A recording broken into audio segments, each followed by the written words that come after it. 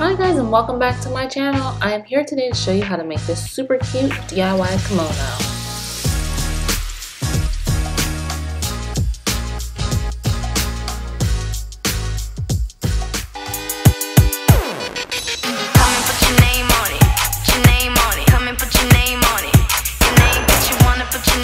Alright, so here are a few supplies that we're going to need. You're going to need a main fabric and an accent fabric, some matching thread, pins, tape measure, scissors, thread ripper, and ruler. Start off by measuring your sleeve length. We're measuring this garment just to kind of get an idea of what it is. I'll leave the measurements below of what I got so that you can use this as a guide if you don't have a kimono. But pretty much I'm getting an idea of what I need to make with my main fabric. I'm going to start by making sure that my fabric is even. Sometimes when you're in the fabric store, people don't cut straight. This fabric was completely crooked, so I needed to pin it all up and cut off the crooked parts to make sure my garment lined up perfectly. I have a yard of fabric here that was 45 inches wide.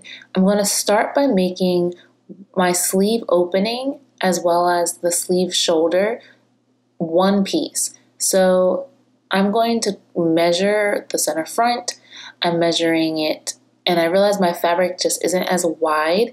So I'm going to just kind of make adjustments. It's really easy to make a kimono. You're pretty much trying to make two front pieces and a center back piece, which virtually are two of the same front and back pieces. So I'm cutting down from the 45 degree angle that I made to make the shoulder slope.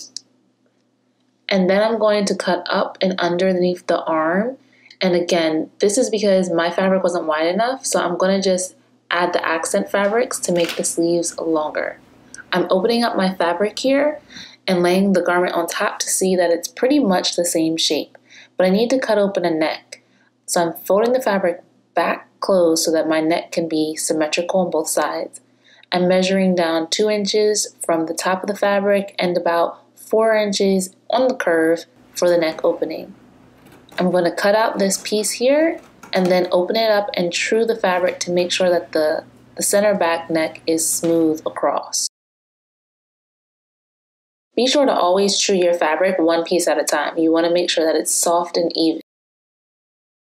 I'm pinning everything back because I want to now make my two front pieces. So I cut two the same shapes. Now I need to make the center front opening, so I'm just pinning them to make sure they're even and cutting straight down the front. Because my fabric wasn't long enough for my sleeves, I'm making an accent fabric to make the sleeves longer. This is a plain weave fabric. Most plain weave fabrics you're able to make a little slit and then pull along the grain of the fabric as long as the grain is straight. I would advise doing a practice tear first to see how crooked or straight your fabric is. I'm now cutting the sleeve pieces, four of them, just as wide as they were on the sleeve opening.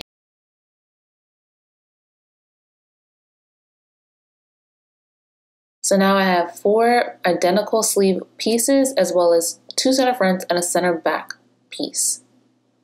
Again, all these measurements will be in the description box below. I'm going to start by attaching all of those accent sleeves to the main body of the regular sleeve with a single thread stitch, a single straight stitch, and then um, making sure to back tack at the end so that the fabric doesn't unravel. Taking your time and using pins is the best way to ensure that your seams are straight. Trying on your fabric, um, your garment halfway through, I'll let you see kind of like if there are any mistakes or how's it coming along.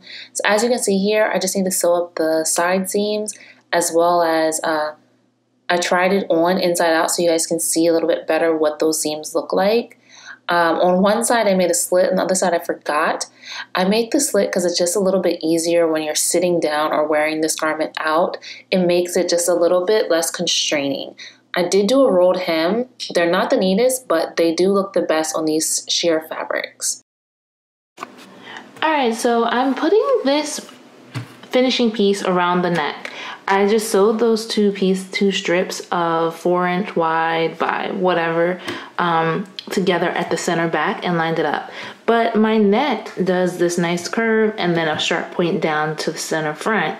But because I'm being super lazy and also I don't necessarily feel like making this into two different pattern pieces, I'm just going to trim off this corner so that when I flip this over, it literally is just a soft, straight front and not um, a neck and then straight down the front. All right, so this is what it looks like after I was trying to make sense.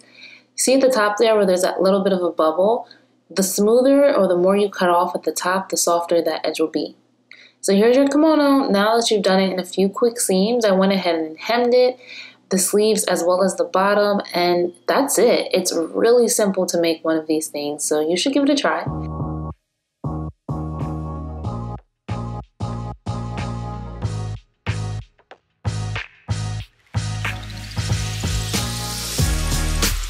Let me know what you want to see made next. I have a few extra pieces of fabric here and a whole lot of time with this quarantine.